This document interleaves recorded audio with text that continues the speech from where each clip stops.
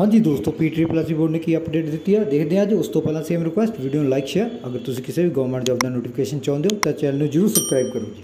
ਦੇਖੋ ਜੀ advertisement 1 of 2023 ਠੀਕ ਹੈ ਡਰਾਈਵਰ ਆਪਰੇਟਰ ਅਤੇ ਫਾਇਰਮੈਨ ਦੀ ਅਸਾਮੀਆਂ ਦੇ ਉਮੀਦਵਾਰਾਂ ਨੂੰ ਮਿਤੀ 18 ਤੋਂ ਸਟਾਰਟ ਦਾ ਤੁਹਾਡਾ 24 10 23 ਤੱਕ ਫਿਜ਼ੀਕਲ ਟ੍ਰਾਇਲ ਲਈ ਬੁਲਾਇਆ ਗਿਆ ਹੈ ਦੋਸਤੋ। ਬਈ, ਤਕਨੀਕੀ ਕਾਰਨਾਂ ਕਰਕੇ ਐਡਮਿਟ ਕਾਰਡ ਅਪਲੋਡ ਕਰਨ ਵਿੱਚ ਦੇਰੀ ਹੋ ਰਹੀ ਹੈ। ਇਸ ਲਈ ਸਮੂਹ ਉਮੀਦਵਾਰਾਂ ਨੂੰ ਹਦਾਇਤ ਕੀਤੀ ਜਾਂਦੀ ਹੈ ਕਿ ਉਹ ਬੋਰਡ ਦੀ ਵੈਬਸਾਈਟ ਤੇ ਅਪਲੋਡ ਕੀਤੇ ਗਏ ਸ਼ਡਿਊਲ ਅਨੁਸਾਰ ਮਿਥੇ ਗਏ ਸਥਾਨ Punjab jail training school Patiala ਵਿਖੇ ਨਿਸ਼ਚਿਤ ਮਿਤੀ ਅਤੇ ਸਮੇਂ ਅਨੁਸਾਰ ਪਹੁੰਚਣਾ ਯਕੀਨਨ ਬਣਾਉਣ। ਆਪਣੇ ਨਾਲ ਇੱਕ ਆਈਡੀ ਪ੍ਰੂਫ ਤੇ ਤਾਜ਼ਾ ਪਾਸਪੋਰਟ ਸਾਈਜ਼ ਫੋਟੋ ਲੈ ਕੇ ਆਉਣ ਦੋਸਤੋ। ਠੀਕ ਹੈ?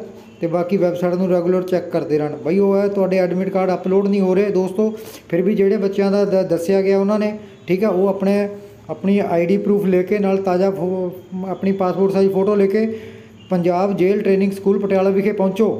ਪਹੁੰਚਿਓ ਆਪਣਾ। ਠੀਕ ਹੈ ਦੋਸਤੋ? 18 ਤਰੀਕ ਤੋਂ ਸਟਾਰਟ ਹੈ 18 10 23 ਤੋਂ 24 10 23 ਠੀਕ ਹੈ ਦੋਸਤੋ, ਆਏ ਤੁਹਾਡੇ।